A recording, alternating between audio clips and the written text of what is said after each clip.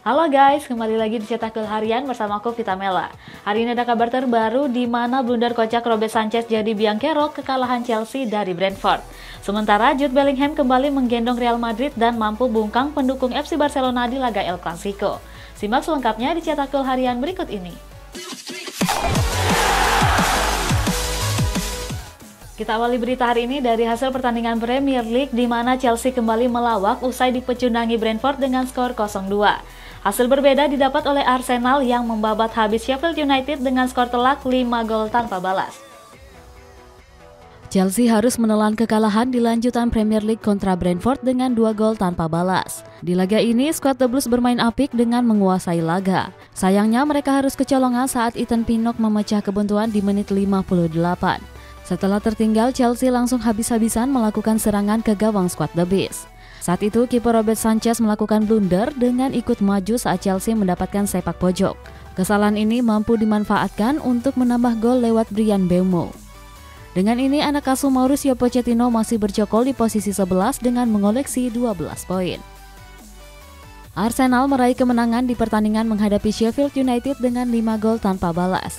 Edin Ketia menjadi bintang dengan melesakkan hat-trick di menit 28, 50, dan 58. Kemudian dua gol lainnya dicetak oleh Fabio Vieira dan Takehiro Tomiyasu di penghujung laga. Kemenangan ini membuat The Gunners nyaman di posisi runner-up dengan raihan 24 poin. Burnley kembali gagal meraup 3 poin usai takluk atas Burnley dengan skor akhir 2-1. Skuad asuhan Vincent Company unggul terlebih dahulu lewat gol tunggal Charlie Taylor di menit ke-11. Namun Bournemouth bisa berbalik unggul dengan mencetak dua gol lewat Antoine Semenyo dan Philip Billing. Kekalahan ini membuat Burnley menempati peringkat 19 dengan baru mengemas 4 poin.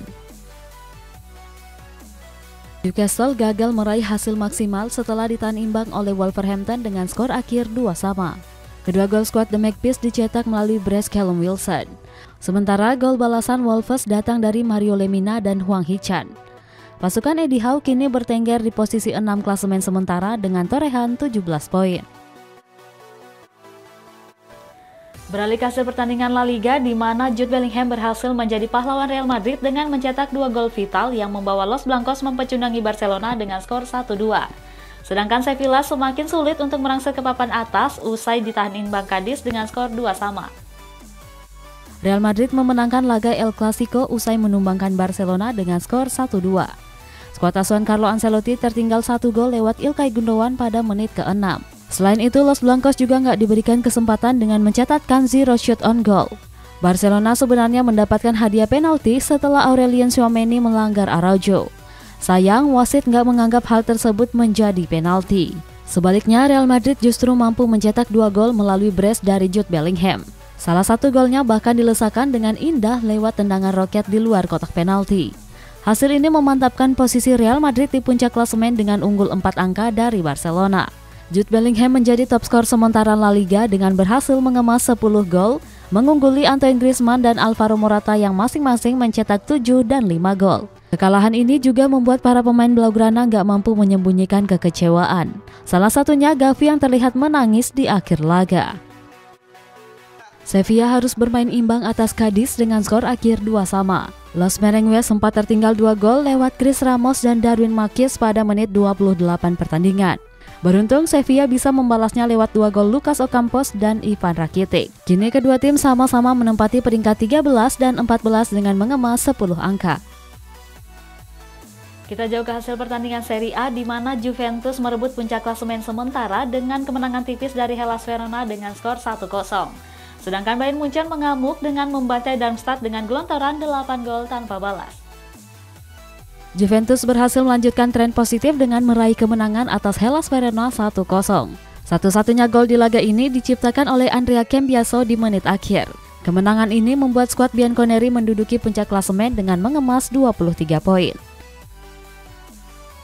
Bayern Munchen memetik kemenangan saat membantai Darmstadt dengan 8 gol tanpa balas. Baru 4 menit laga berlangsung di Rotten harus kehilangan Joshua Kimmich yang diganjar kartu merah. Meski begitu, Bayern Munchen tetap tampil ganas dengan Harry Kane yang menceploskan hat-trick. Selain itu, Leroy Sané dan Jamal Musiala sama melesakkan brace. Sementara gol penutup tercipta melalui kaki Thomas Muller. Hasil ini membuat skuad asuhan Thomas Tuchel mengambil alih sementara di posisi puncak dengan mengoleksi 23 poin. Al Nassr berhasil mengalahkan Al Feiha dengan skor meyakinkan yakni 1-3. Tiga gol skuad Al Alami dicetak lewat Bres dari Taliska dan satu gol Otavio di menit 74. Sedangkan Al Feiha cuma bisa mencetak satu gol hiburan lewat Hussein Al Suwais. Cristiano Ronaldo sempat membuang peluang pada menit 55 pertandingan. Bintang asal Portugal itu justru terlihat menendang angin saat berada di depan gawang. Kemenangan ini membuat Al Nassr membuntuti Al Hilal di peringkat dua klasemen sementara. Kalau tadi dari hasil pertandingan, kita masuk ke sesi konferensi pers ada Erik Ten Hag yang percaya diri bisa memenangkan laga derby Manchester melawan Manchester City. Komentar berbeda dilontarkan oleh Pep Guardiola yang cukup antusias menyambut laga spesial melawan Manchester United. Erik Ten Hag menatap derby Manchester dengan optimis dan percaya diri. Dirinya menilai setan merah bakal memberi perlawanan sengit pada Manchester City. Ten Hag menganggap laga ini jauh lebih bergengsi dibandingkan laga lainnya. Pelatih asal Belanda ini menargetkan poin penuh atas The Citizens demi melanjutkan tren positif. Guardiola menganggap derby Manchester sebagai pertandingan yang sangat penting.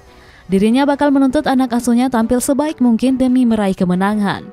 Selain itu, Guardiola juga berhasrat mempercundangi setan merah di Old Trafford. Pelatih asal Spanyol ini mewaspadai kekuatan The Red Devils di kandangnya. Jurgen Klopp khawatir skuad asuhannya mengalami badai cedera akibat padatnya jadwal pertandingan. Sementara Stefano Pioli tuntut anak asuhnya untuk bangkit demi bisa tumbangkan Napoli di lanjutan Serie A. Jurgen Klopp mengeluhkan jadwal padat jelang menghadapi Nottingham Forest. Pelatih asal Jerman ini khawatir skuad asuhannya diterpa cedera karena harus terus bermain. Klopp juga berjanji bakal merotasi skuad untuk menyiasati jadwal yang padat. Klopp bakal memainkan starting line up yang berbeda saat menghadapi Nottingham Forest. Roberto De Zerbi memuji performa impresif Ansu Fati di lini depan Brighton selama beberapa pertandingan. Ansu Fati hampir dipastikan akan kembali menjadi tumpuan saat menjamu Fulham. De Zerbi sendiri yakin jika penyerang Spanyol itu akan membuat performa The Seagulls meroket. Ansu Fati membentuk duet maut bersama Joao Pedro di lini depan. Stefano Pioli mengatakan skuad asuhannya ingin meraih kemenangan melawan Napoli. Rossoneri ingin segera bangkit usai ditumbangkan Paris Saint-Germain di Liga Champions. Pioli mengungkap laga kontra Napoli bakal menjadi ujian mental untuk AC Milan. Dirinya percaya Rossoneri nggak ingin kembali menelan kekalahan tiga kali secara beruntun. Manchester United tertarik untuk memboyong Roland Lenormand di bursa transfer mendatang. Skuad Setan Merah kepincut dengan performa apik sang pemain bersama timnas Spanyol. Meski begitu, The Red Devils harus bergegas untuk mengamankan jasanya. Pasalnya, Liverpool juga berminat memboyongnya untuk menambah kedalaman di lini belakang. Newcastle United dilaporkan tengah meminati jasa Federico Chiesa dari Juventus. Kontrak pemain asal Italia itu memang akan berakhir pada bulan Juni tahun 2025 mendatang. Manajemen The Magpies harus bergerak cepat mengingat Chiesa juga diminati oleh Tottenham Hotspur. Kedua klub tersebut harus merogoh kocek sebesar 52 juta pound sterling mengangkutnya. Beralih ke kabar rumor di mana FC Barcelona membidik Gabriel Jesus untuk menambah amunisi di lini depan. Di kabar penutup ada Borneo FC Samarinda yang mengunci juara paruh musim Liga 1 usai membabat habis Dewa United dengan skor 3-1. Barcelona mengincar Gabriel Jesus pada jendela transfer musim dingin mendatang. Pemain asal Brazil ini jadi salah satu nama yang diincar oleh Xavi Hernandez. Namun Blaugrana baru akan mendatangkan Jesus seandainya gagal mengamankan jasa Julian Alvarez. Penyerang asal Argentina ini dikabarkan cabut dari Etihad Stadium dalam waktu dekat. Borneo FC Samarinda memastikan puncak klasemen paruh musim BRI Liga 1. Dalam laga penutupannya, skuad pesut Eta memperdaya Dewa United dengan skor meyakinkan yakni 3-1. Stefano Lillipali menjadi bintang kemenangan setelah mampu mencetak hat-trick. Sedangkan satu gol Dewa United dilesakan melalui Septian Bagaskara pada menit 91 pertandingan. Jan Alderi Kring selaku pelatih Dewa memuji permainan bagus skuad pesut etam. Dia menyebut kalau para penggawanya nggak punya cukup waktu untuk membalas setelah tertinggal dua gol. Komentar berbeda dilontarkan oleh Pieter Huistra yang sangat puas dengan performa pemainnya di putaran pertama. Muhammad Syiran bahkan menargetkan Borneo FC juara di akhir musim.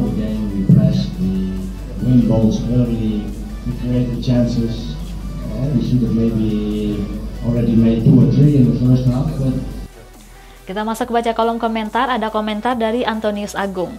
Terima kasih untuk semua kru cetak gol harian yang sudah menyediakan info-info sepak bola buat pemirsa setia terus semangat. Ya guys, makasih juga ya buat kalian yang selalu nonton dan support kami untuk menyajikan berita bola terbaru. Buat kamu yang mau komennya dibacakan, komen di bawah ya. Sampai jumpa.